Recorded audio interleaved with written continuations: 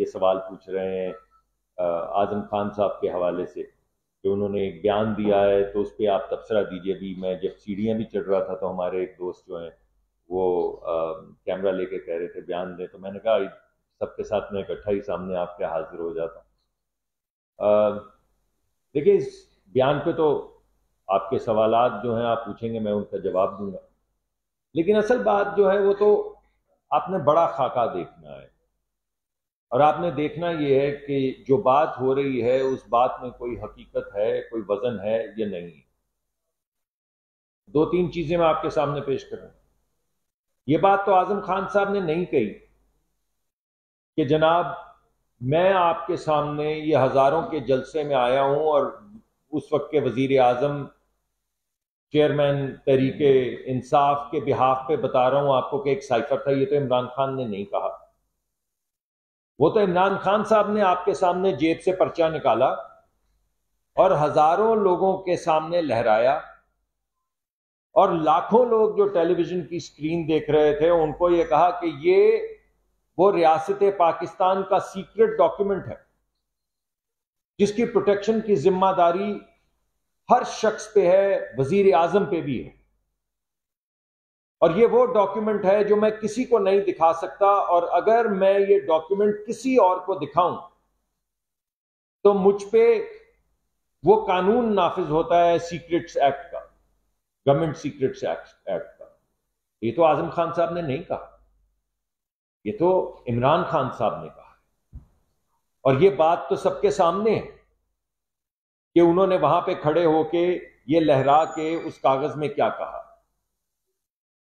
इस वजह से अगर तो बात यह हो रही है कि क्या पाकिस्तान के वो कानून जिसके ज़रिए पाकिस्तान के तमाम सीक्रेट्स की हिफाजत की जाती है, उसको वायलेट किया गया है या नहीं तो जवाब आपके सामने है, क्लिप्स आपके सामने हैं, अखबारी तराशी आपके सामने है, पूरा मुल्क आपके सामने है, जिसमें वो कागज़ जो पाकिस्तान के आइन के मुताबिक, और ये मैं नहीं कोई इस तरह की बात कर रहा कि कोई गद्दारी है मगर वो उस जिमरे में ज़रूर आती। आप जब ओथ लेते हैं ओथ लेते हैं हलफ लेते हैं मेंबर ऑफ़ पार्लियामेंट का मेंबर काबीना का हर काबीना का जब हल, हर हल्फ लेते हैं वज़ीर आज़म का हल्फ लेते हैं तो उसमें लिखा हुआ है अल्लाह रसूल तमाम का नाम लेने के बाद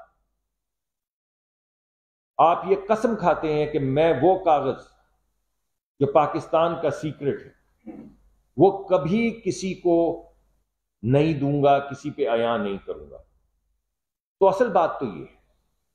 असल बात तो यह है कि वो कागज़ जिसकी हिफाजत की ज़िम्मेदारी आइन के तहत खान साहब को दी गई थी, उन्होंने अपना हल्फ तोड़ते हुए, उस काम, कानून को पामाल करते हुए पूरी दुनिया के सामने वो कागज़ रखा।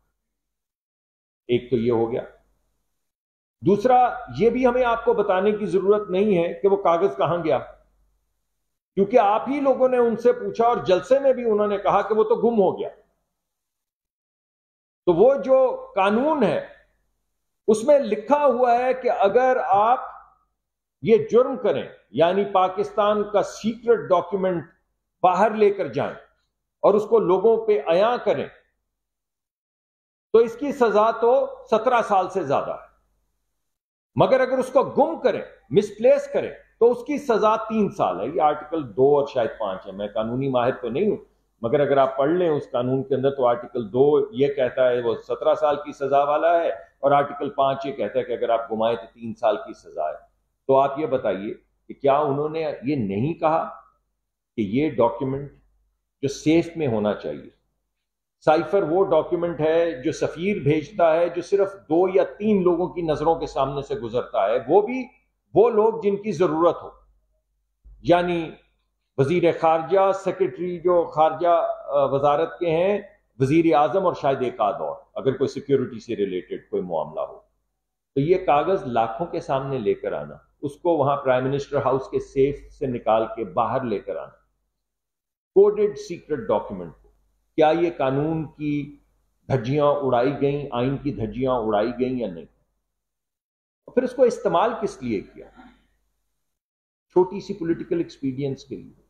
आज भी गालिबन मैं सुबह देख रहा था सीएनएन के ऊपर आ रहा था कि वहाँ पे अमेरिका ने दोबारा कहा है कि यार हमारा काम नहीं है किसी मुल्क के अंदर बैठ के उसकी हुकूमतें उल्टाना या उनके जमहूरी निज़ाम को पामाल करना या उनके आइन को पामाल करना, हमारा ये काम नहीं, ये मुल्क के अंदरूनी सियासत है, इसको आपस में सियासतदान बैठ कर तय करें बार बार हमें इसमें ना घसीटे। मगर उनको घसीटा गया। क्या कहा गया? कहा गया कि अमेरिका ने मुदाखलत की। किस चीज़ में मुदाखलत? की यानी पाकिस्तान के जमहूरी निज़ाम में मुदाखलत की। और कहा कि हमारी हुकूमत को उल्टाने की साजिश की। हुकूमत, एक जमहूरी हुकूमत को उल्टाने की साजिश का मतलब है कि उन्होंने पाकिस्तान के आइन को सबवर्ट किया, पामाल किया। आइन को सबवर्ट करने का मतलब है कि उन्होंने तकरीबन हमला किया पाकिस्तान के ऊपर। यह है उस बात का मतलब जो खान साहब बरमला खड़े होकर पूरी पाकिस्तान के अवाम को बता रहे थे। तो फिर मुझे यह बताएँ कि उसके चंद दिन के बाद आपने वो वीडियो देखी जिसमें वो कांग्रेस वुमन के सामने गिड़गिड़ा रहे थे? एक तरफ़ कह रहे हैं कि ये शख्स पाकिस्तान के या ये मुल्क पाकिस्तान के आइन को पामाल करता है। फिर दूसरी तरफ़ उसी मुल्क के एक पार्लिमान के मेंबर के सामने गिड़गिड़ा रहे हैं कि अल्लाह आपका वकार बुलंद करे, ये मेरे हक में एक खत लिख दें, आपका खत बड़ी दूर तक जाएगा, हमारी बचत हो जाएगी। ये क्या कर रहे हैं? वो बात सच है या ये बात सच है? क्या यह सच है कि अमेरिका ने पाकिस्तान के आइन को पामाल किया, पाकिस्तान की जमहूरियत को पामाल किया? या यह बात सच है कि अल्लाह आपका वकार बुलंद करे, मेरे हक में एक खत लिख दे? इनमें से कौन सी बात सच है? यह बात सच है कि उन्होंने जमहूरियत को डिरेल किया? या यह बात सच है कि आपने वहाँ पे एक लॉबिस्ट रखा? डेविड फेंटन के नाम से। और उसको ये, और ये वो शख्स है जो 30 साल से पाकिस्तान के एटमी प्रोग्राम्स के खिलाफ तहरीक चला रहा है। पाकिस्तान के जितने पढ़े लिखे बच्चे इधर बैठे हैं, वो लिख लेंगे नाम, डेविड फेंटन। और उसको गूगल करें, इस इस प्रेस कॉन्फ्रेंस में गूगल करें। और देखें कि उसने क्या क्या किया। उसने कॉन्सर्ट करवाए हैं एटमी तनसीबात के खिलाफ। उसने लॉबी किया है पाकिस्तान की एटमी प्रोग्राम के खिलाफ और सारी ज़िंदगी लॉबी किया है। उसने उसकी ज़िंदगी का एक मकसद है, ये मैं नहीं कह रहा, मैं आपको दावत दे रहा हूँ, डेविड फैंटन।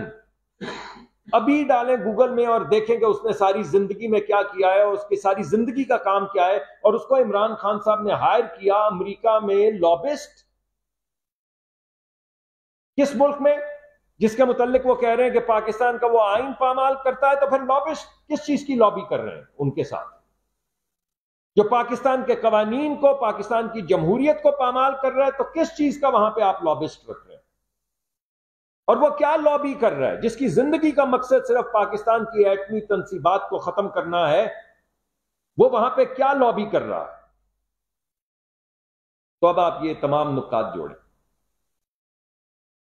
आप देखें कि अपनी सियासत की नज़र उन्होंने क्या क्या नहीं किया और ये तो आपको याद है अभी कितनी मुश्किल से हमने आईएमएफ का प्रोग्राम दोबारा से उसका शुरू करवाया है। कितनी मुश्किल पड़ी। आप लोगों ने भी बड़ा उसका तनकीदी जायजा लिया और बरहक तनकीदी जायजा लिया। और हमने बड़ी कोशिश की और मैं बड़ा शुक्रगुजार हूँ वज़ीर आज़म का वज़ीर खजाना का, जिन्होंने बहुत मेहनत करके आखिरी वक्त में इस प्रोग्राम को रिस्टोर करवाया। लेकिन आपको ये याद है कि पुराने वज़ीर खजाना, जो सूबों के वज़ीर खजाना को, दोनों को फ़ोन कर रहे थे तो क्या कह रहे थे? एक वज़ीर को उन्होंने कहा, और यार, ये इसको ऐसे वैसे कर दो, ये आईएमएफ का प्रोग्राम तो तबाह करो। और जब यही बात उन्होंने पंजाब के वज़ीर खजाना को कही तो अल्लाह उनको, उनका भला करे। उन्होंने कहा कि, सर, ये तो मुल्क बर्बाद कर देगा, ये तो चीज़ मुल्क के खिलाफ जाती है। तो आप ऐसी बातें तो ना करें कि सियासत की वजह से मुल्क बर्बाद हो जाए, मुल्क बैंक हो जाए, मुल्क के गरीब आदमियों का क्या बनेगा? तो उसमें के जवाब में उन्होंने कहा भाई छोड़ यार, कप्तान कहता है, ये बस ये करना है, करो इसको। कप्तान कहता है। कभी कप्तान कहता है, हमारी जमहूरियत को पामाल करते हैं। कभी कप्तान गिड़गड़ा रहा होता है उन लोगों को जो जमहूरियत को पामाल करते हैं कि मेरे तो एक खत लिख दे खत लिख दे, अल्लाह का वास्ता है खत लिख दे, अल्लाह तेरी इज़्ज़त बुलंद करे, तेरा वकार बुलंद करे। कभी कप्तान कहता है कि यार तू अगर पाकिस्तान के तेरा बड़ा इनवे है, इनवे, अमेरिका में तो तू जरा ये एक हमारे हक में भी कैंपेन चला। तो पाकिस्तान की एटमी तनसीबात के खिलाफ तो तीस पैंतीस साल से कैंपेन चला रहा है। तेरी ज़िंदगी का मकसद है, जरा हमारे हक में भी वही रिलेशनशिप्स इस्तेमाल करते हुए एक कैंपेन चला दे। अरे भाई, ये कैसा कप्तान और ये किसका कप्तान है? ये किस मुल्क का कप्तान है? जो अपनी अना के सामने, जो अपने सियासी मुफादात के सामने मुल्क को भी नहीं ठहरने देता। अब जो बातें ये हो रही हैं, मैंने आपके सामने कुछ भी पेश किया, और बेशुमार इसके अलावा, बेशुमार इसके अलावा, कहाँ पे झूठ बोला, कहाँ पे सच बोला, कौन से पैंतीस पंक्चर, वो कौन से ढाई सौ मिलियन डॉलर जो आपने मलिक रियाज साहब को दिया और उसके बदले में साढ़े चार सौ किनाल ज़मीन ली। ये कप्तान? या आपने ढाई मिलियन पाउंड के लिए एक अरब डॉलर का फ़ायदा दिया आरिफ नकवी को? यह कप्तान। ये कौन सा कप्तान? ये किस मुल्क का कप्तान? और ये अपने आप को आगे बढ़ाने के लिए किस किस चीज़ की कुर्बानी देगा? आइन की, कानून की, मुल्क की, रियासत की। तो मैं ये कहता हूँ कि अब आप मेरे से सवाल पूछिए? आज़म खान साहब के बयान के मुताबिक। इन तमाम बातों से आज़म खान के बयान का क्या ताल्लुक? आज़म खान ने तो वो कहा है जो आपको पहले से पता है। आज़म खान ने तो वो कहा है जो कप्तान खुद करोड़ों लोगों के सामने खड़े होकर कह गया है। आज़म खान ने तो वो कहा है जो आप रोज अखबार में लिख रहे हैं, जो हम रोज कह रहे हैं कि एक साजिश के तहत, एक सोची समझी साजिश के तहत पाकिस्तान को दाव पे लगा के, रियासत को दाव पे लगा के एक साजिश की गई थी। लेकिन साजिश वाजिश को छोड़े। पाकिस्तान का एक सीक्रेट्स डॉक्यूमेंट्स या पाकिस्तान के सीक्रेट्स को बचाने का एक कानून है। अगर इस कानून की कोई इज़्ज़त नहीं है, अगर इस कानून की कोई हैसियत नहीं है तो फिर इतनी भारी सजा आइन में और कानून में क्यों लिखी गई है? और अगर सजा बेशक हो या ना हो, मगर खान साहब पे क्योंकि ना आइन लगता है, ना कानून लगता है तो यह भी नहीं लगता तो फिर बाकी लोग भी इसी तरह पाकिस्तान की इज़्ज़त, पाकिस्तान की हिफाजत, पाकिस्तान का आइन, पाकिस्तान के सीक्रेट्स को पामाल करें। और जहाँ पे ज़रूरत पेश आए, वहाँ पे पाकिस्तान को एक एक ईंट करके बेचते चले जाए। क्योंकि ये जो हो रहा है, जो हो रहा था, वो हो यही रहा था।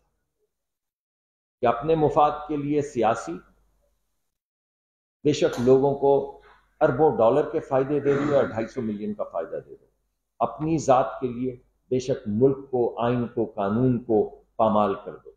एक एक ईंट करके पाकिस्तान बेचते चले जाओ। और अगर पाकिस्तान सिर्फ़ एक ईंट भी रह जाए तो उस ईंट पे सिर्फ़ मैं खड़ा हूँ। भाई ये नहीं ऐसे नहीं होता। पाकिस्तान एक ईंट रह जाए और उस पर सिर्फ़ आप खड़े हों। वज़ीर आज़म पाकिस्तान ऐसा नहीं चाहिए वज़ीर आज़म पाकिस्तान तो वो होना चाहिए जो शहदा की तरह बोले कि एक ईंट पे भी पैर रखोगे तो मैं जान दे तो यही मैं आपके सामने, क्योंकि बहुत से लोग सवाल पूछ रहे थे तो मैंने सोचा मैं आपके सामने हाजिर